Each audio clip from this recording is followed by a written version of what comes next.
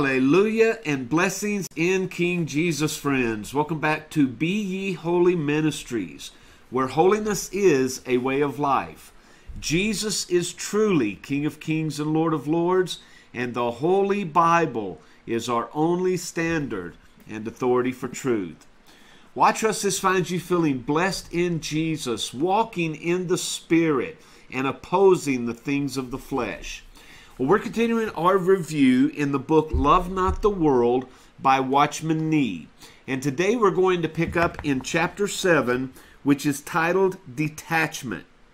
Now, we have seen the church as a thorn in Satan's side, causing him acute discomfort and reducing his freedom of movement.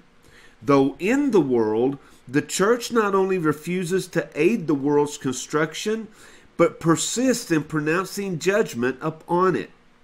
But if this is true, if the church is always a source of irritation to the world, then equally the world is a source of constant grief to the church.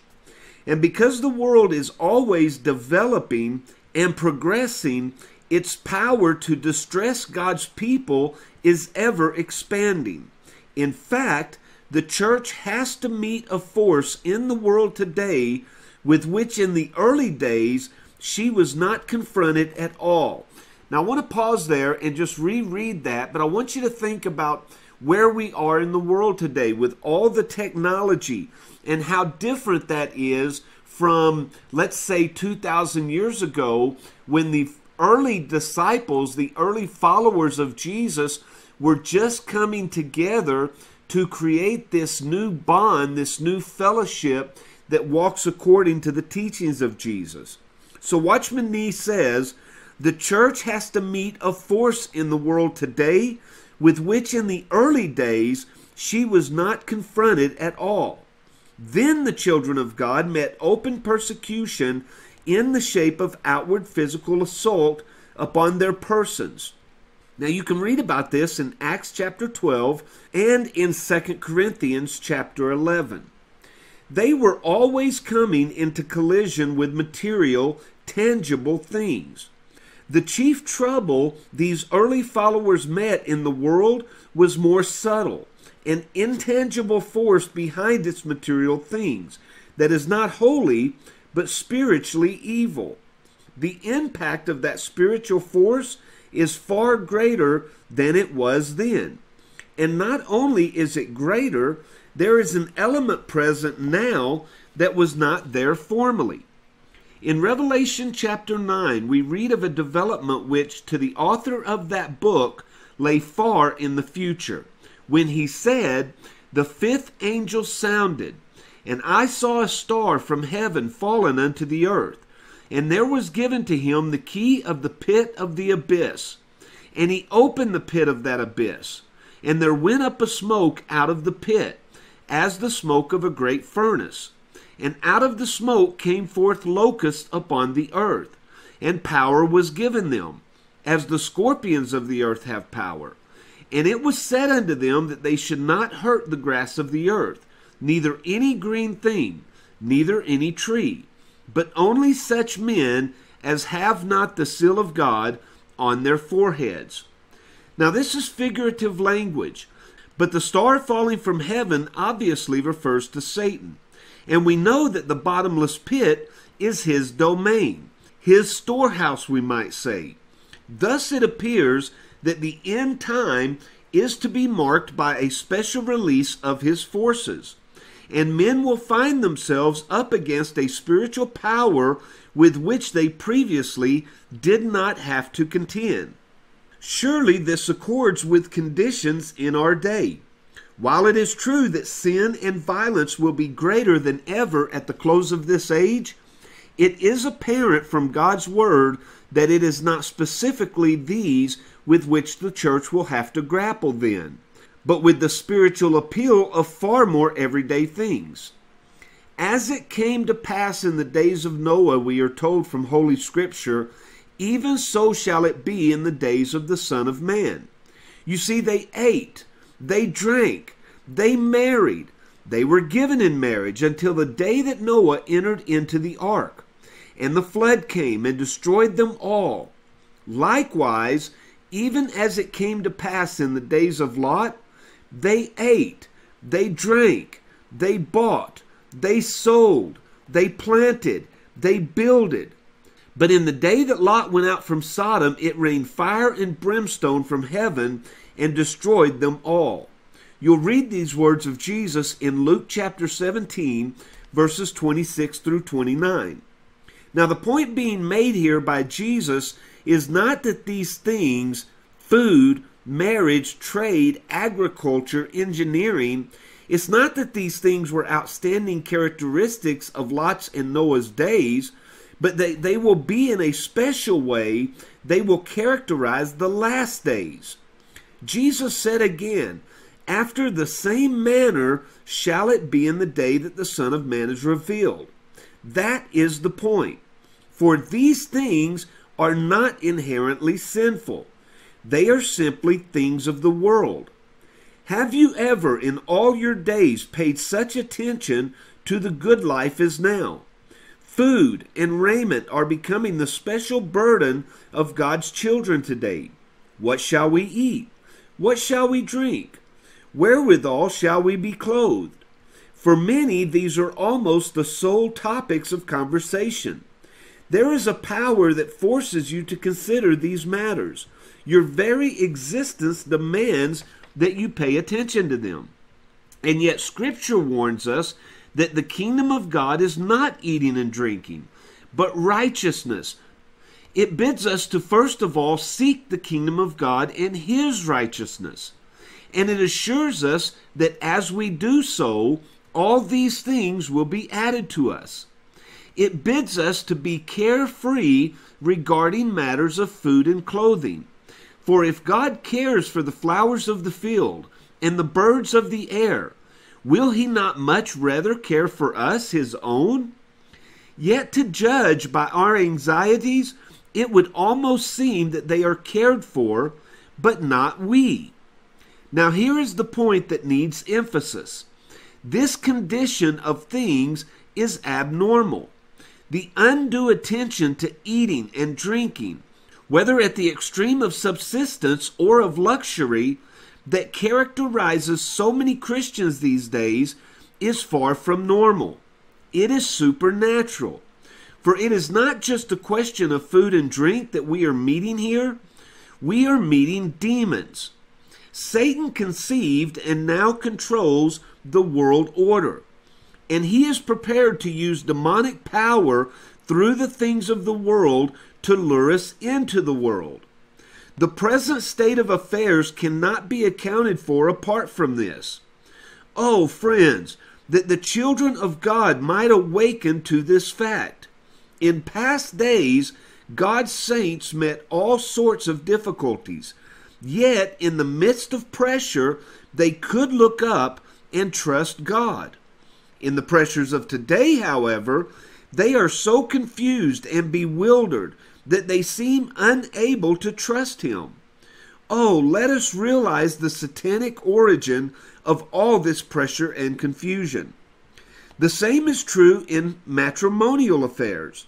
Never have we met so many problems in this field as today. There is confusion abroad as young people break with old traditions but they lack the guidance of any new ones to replace them.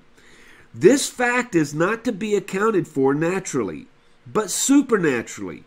Marrying and given in marriage are wholesome and normal in any age. But today there is an element breaking into these things that is unnatural. So it is with planting and building, and so too with buying and selling. All these things can be perfectly legitimate and beneficial. But today, the power behind them presses upon men until they are bewildered and they lose their balance.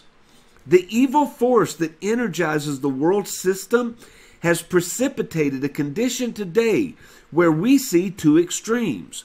The one extreme of utter inability to make ends meet and the other extreme of unusual opportunity to amass wealth.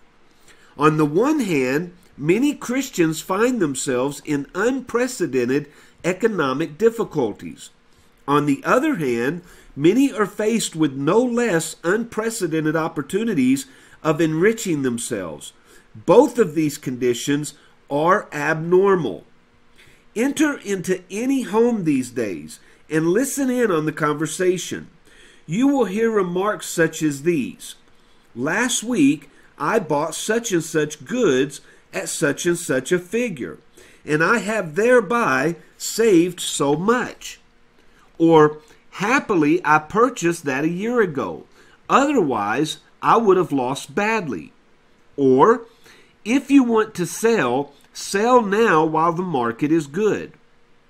Have you not noticed the way people are rushing here and there, feverishly making business deals? Doctors are stocking up with flour. Cloth manufacturers are selling paper. Men and women who have never touched such things before are being swept off their feet by the current of speculation. They are caught up in a marketing maelstrom that is whirling them madly around. Do you not realize that this state of affairs is not natural? Do you not see that there is a power here which is captivating men? People are not acting sanely. They are beside themselves. Today's buying and selling spree is not just a question of making a little money or losing it. It is a question of touching a satanic system. We are living in the end time, a time when a special power has been let loose which is driving men on, whether they will or not. So the question today is not so much one of sinfulness as of worldliness. Who would dare say to you, you do wrong to eat and drink? Who would dare to disapprove of marrying and giving in marriage? Who would question your right to buy and to sell? These things are not in themselves wrong. The wrong lies in the spiritual force behind them, which, through their medium, presses relentlessly upon us. Oh, that we might awake to the fact that whereas these things are so common and so simple, they are yet being used by Satan to ensnare God's children into the great net of his world order. Jesus told us in Luke 21 34, Take heed to yourselves, lest haply your hearts be overcharged with surfeiting and drunkenness and cares of this life, and that day come on you suddenly as a snare. Note the term life in Jesus' words. In the Greek New Testament, three words are commonly used for life Zoe, which is spiritual life, Psuche, which is psychological life, and Bios, which is biological life. The last is the word used here, appearing in adjective form, biotikes, or of this life. The Lord is warning us to beware lest we be unduly pressured with this life's care. That is to say, with anxieties regarding quite ordinary matters such as food and dress, which belong to our present existence on the earth. It was over just such a simple thing that Adam and Eve fell. And it will be due to just such simple matters that some Christians may overlook the heavenward call of God.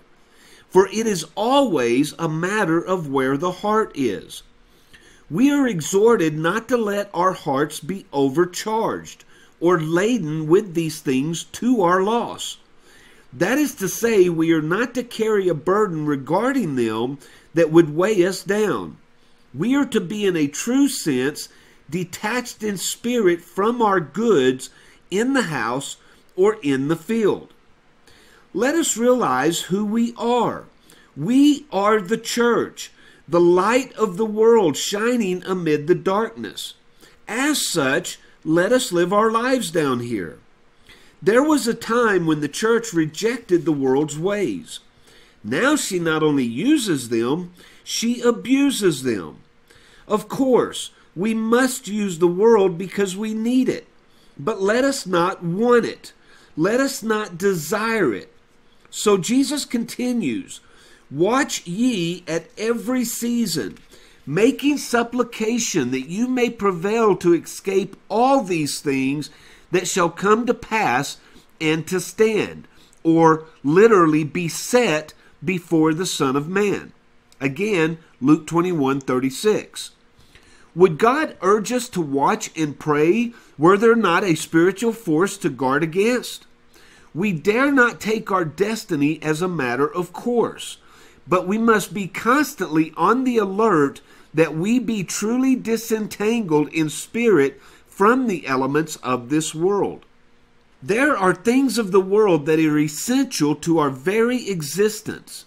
To be concerned with them is legitimate, but to be weighed down by them is illegitimate and may cause us to forfeit God's best. The book of Revelation suggests that Satan will set up his kingdom of Antichrist in the political world. Revelation 13. In the religious world, Revelation 17, and in the commercial world, Revelation 18. On this threefold basis of politics, religion, and commerce, his reign will find its last violent expression. In the latter two chapters, this kingdom appears under the figure of Babylon, the special instrument of Satan. Babylon seems to represent corrupted Christianity. Rome, perhaps, but bigger and more insidious than Rome. And it is on the ground of her commerce that she is judged. The whole record of Revelation 18 revolves around merchants and merchandise. Those who bemoan the great city's fall from the king right down to the ship's helmsman all bewail the thought that her flourishing trade has suddenly ceased.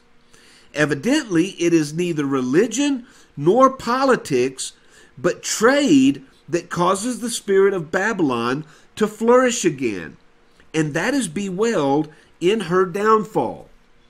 We dare not emphatically state that pure commerce is wrong, but this we do say on the ground of God's holy word, that its beginning is connected with Satan and its end with Babylon.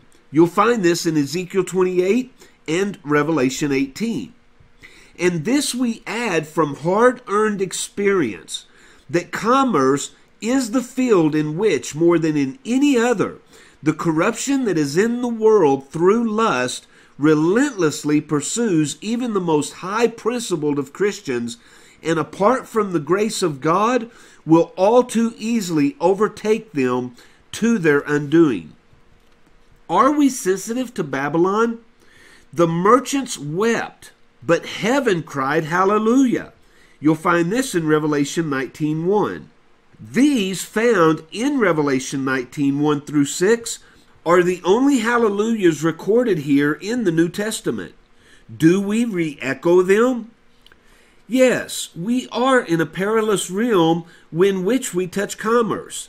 If by reason of our calling we engage in pure trade, and if we do so in fear and trembling, we may, with God's help, escape the snare of the devil. But if we are overconfident, then there is no hope of escape from the unscrupulous self seeking that such business engenders. So the problem that confronts us these days is not how to refrain from buying and selling, from eating and drinking, from marrying and being given in marriage. The problem now is to avoid the power behind these things for we dare not let that power triumph over us. What then is the secret of holding our material things in the will of God? Surely it is to hold them for God. That is to say, to know we are not hoarding useless valuables or amassing vast bank deposits, but instead we are laying up treasures to His account.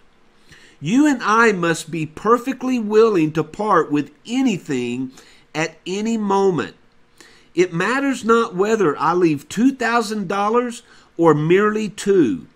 What matters is whether I can leave whatever I have, without a twinge of regret. Let me reread that because, friends, that is the secret. We must, as the children of God, be perfectly willing at any moment to part with anything that we own. What matters is whether we can leave whatever we have without a twinge of regret. And unfortunately, for so many of us, that is untrue. But that is the place, friends, where we must bring ourselves in our relationship with God and in our hearts that nothing has a hold on us and we can, without any regret, dispose of anything that we have at any given moment. I am not suggesting by this, says Watchman Nee, that we must try to dispose of everything. That is not the point. The point is that as God's children, you and I may not accumulate things for ourselves. If we keep something, it is because God has spoken to our hearts. If we part with it, it is for the same reason. We are to hold ourselves in the will of God and be not afraid to give if God asks us to give. We keep nothing because we love it but instead we let it go without regret when the call comes to leave it behind. This is what it means to be truly detached from this world in which we live. And that brings us to the close of chapter 7 today, friends. And I trust that through this chapter, you have been reminded, as Jesus so warned us of, to be cautious and aware of the dangers the deceptiveness and the lure that this world has upon us as the people of God, and that you fight with all your power to resist the things of this world, and you bring your heart to a true place of surrender before the God whom you serve, not just in spirit, soul, and body, but in how you spend your time, how you spend your strength, and how you spend your money. For truly, as his people, we know all good things come from our Father above, and yet they are only being lent to us so that we will use them for his glory, his honor, and his service. Well, friends, I truly love you. I'm so thankful that you're again with us through another portion, another opportunity to learn what it means to be a true follower of the Lord Jesus. And I pray that your journey will be blessed until we meet again. Now, as He wills, and until we do meet again, may the Lord Jesus keep you, and may you truly walk according to His Spirit every moment of your life, not according to the flesh. I love you. You are in my thoughts and prayers, and I will see you on the next video.